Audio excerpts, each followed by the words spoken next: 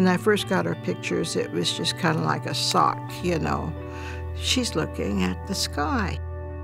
It's a polar bear in her front yard, and it's just absolutely magic that uh, Beatrice caught it just when it was there. The bear just seems to capture her love of, of the animals, of seeing something that people take for granted. She's making magic from everyday things.